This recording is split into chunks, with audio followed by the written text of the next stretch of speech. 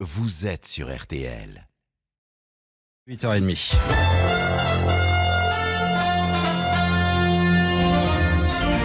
Retour à l'info pour le Tout Info de RTL, c'est avec Yann Boucherie. Bonjour Yann. Bonjour Stéphane, bonjour à tous. Le Tout Info pour tout entendre de l'actualité de ce samedi 20 juin.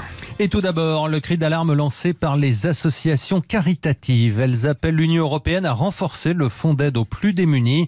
Eu égard à la situation actuelle aggravée par la crise du Covid, au secours populaire par exemple, le nombre de bénéficiaires a augmenté de 45% depuis le début de l'épidémie. Henriette Steinberg est la secrétaire générale de l'association.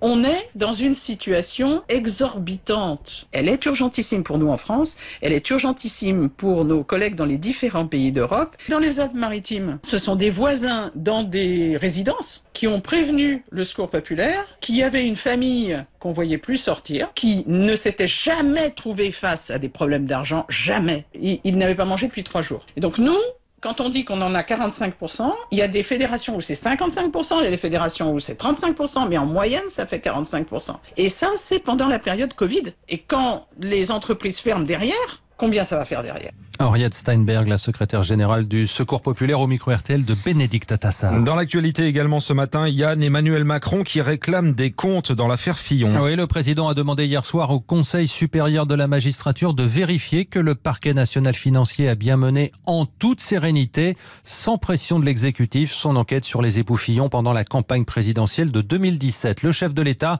a décidé d'intervenir, explique l'Élysée, au vu de l'émoi suscité par les déclarations de l'ancienne chef du PNF, qui a dit avoir mené une enquête sous la pression du parquet général, son autorité de tutelle.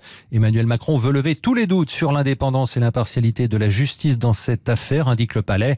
Candidat lui aussi en 2017, Jean-Luc Mélenchon dénonce un scandale et des méthodes dont il dit avoir été victime par la suite. Je suis comme tout le monde scandalisé. Après, euh, ça ne veut pas dire que j'approuve ceci ou cela de M. Fillon et qu'on s'entende bien.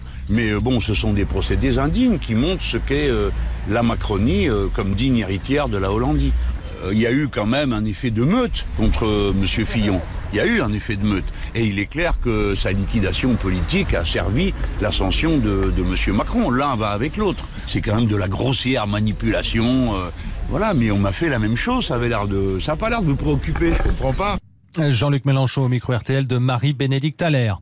Un nouvel assouplissement dans le déconfinement. Les Français vont pouvoir retourner au cinéma et au casino euh, dès lundi et au stade et dans les hippodromes à partir du 11 juillet avec un nombre maximal de 5000 spectateurs. Annonce du gouvernement dans un communiqué publié cette nuit après une réunion du Conseil de défense. À cette date également du 11 juillet, les croisières fluviales seront de nouveau autorisées.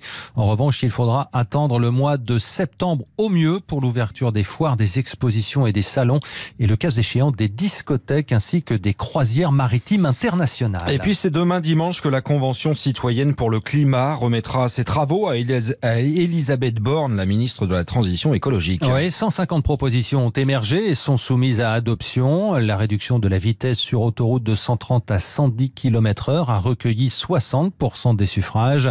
Parmi les autres mesures figure un encadrement de la publicité avec interdiction des panneaux dans l'espace public extérieur et pour des produits comme les gros véhicules de type SUV. Difficile de changer ses comportements selon la secrétaire d'État Emmanuel Vargon. C'est un peu le propre de l'écologie. C'est-à-dire, on est tous d'accord pour réduire les émissions de gaz à effet de serre. On est tous d'accord pour lutter contre le changement climatique. Après, comment, surtout quand ça nous oblige à changer notre manière de vivre, ça c'est plus difficile. Et donc ça c'est une mesure, les 110 km heure, sur laquelle déjà les 150 n'étaient pas tous d'accord, mais ils l'ont adopté. Et donc ça va rentrer dans un débat plus général. Vous savez, le président de la République va recevoir les 150 citoyens dans une dizaine de jours. Et donc c'est lui qui dira aussi quelles sont euh, ses réactions face aux différentes mesures proposées, et puis ce qui partira euh, vers le Parlement et ce qui pourrait être susceptible d'être adopté par référendum. Emmanuel Vargon, la secrétaire d'État auprès de la ministre de la Transition écologique, elle était hier soir sur RTL. Au chapitre consommation, plusieurs références de steak haché et de viande hachée font l'objet d'un rappel de produits. Attention, un risque de présence d'un petit fragment de filament métallique a été signalé. Ces produits sont commercialisés par les enseignes Auchan, Lidl, Casino et Carrefour. Liste disponible sur le site de 60 millions de consommateurs. Et puis aux États-Unis, des manifestants euh, contre le racisme ont abattu cette nuit à Washington la seule statue d'un général confédéré dans la capitale américaine. La statue d'Albert Pike, général sudiste lors de la guerre de sécession, a été déboulonnée à l'aide d'une corde par plusieurs dizaines de personnes scandant le slogan Black Lives Matter. Cette destruction a eu lieu en ce jour anniversaire du Juneteenth, ce jour de 1865 où les derniers esclaves ont été libérés au Texas. Le président Donald Trump a immédiatement qualifié sur Twitter cet incident, je cite, de honte pour notre pays et accusé la police de ne pas faire son travail. La société américaine, elle, poursuit son examen de conscience et son économie également. Des célèbres marques avec des stéréotypes datés et à connotation raciale vont modifier leur visuel, Philippe Corbet. Oui, il est temps de faire évoluer la marque Uncle Ben's, y compris son identité visuelle, annonce le groupe Mars, sans préciser pour l'instant si l'homme noir sur le logo va disparaître ou si c'est seulement le mot oncle qui va être effacé. Car c'est notamment ça qui pose problème. Oncle et tante étaient des surnoms donnés à des esclaves qui faisaient le service. On leur déniait le droit d'être appelés monsieur ou madame. L'annonce des propriétaires d'Uncle Ben's a été faite quelques heures après celle du groupe Pepsi, qui possède une marque de pâte à crêpes très célèbre ici. Beaucoup de familles américaines en ont dans leur placard. Aunt Jemima, un nom tiré de chansons racistes quelques années après la fin de l'esclavage. La marque Aunt Jemima, qui date de 1889, va totalement disparaître.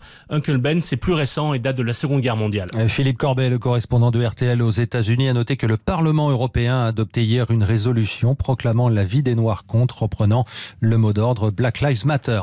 Un mot de football, suspense relancé en Espagne. Le Barça a concédé le match nul 0-0 hier soir à Séville. Le Real Madrid pourrait prendre la tête de la Liga en cas de victoire demain soir à la Real Sociedad. Et puis il y a dix ans, jour pour jour, survenait le scandale de Naïsna. Le 20 juin 2010, les joueurs de l'équipe de France de foot refusaient de descendre du bus et de s'entraîner en soutien à Nicolas Anelka. Et dix ans après, on va revenir sur ce fiasco euh, retentissant avec François Manardo. À l'époque, il était le chef de presse de cette équipe tricolore et il travaillait aux côtés de Raymond Domenech. Il est notre invité dans 10 minutes. RTL.fr, toute l'actualité. Merci Yann. À tout à l'heure, 10 heures pour tout savoir, bien sûr. Dans un instant, on va se promener, nos balades gourmandes. Bonjour Luana. Bonjour Stéphane, bonjour tout le monde. Bonjour Jean-Sébastien. Salut Stéphane, bonjour tout le monde. On va en Charente-Maritime et on va tout savoir sur le melon. À tout de suite.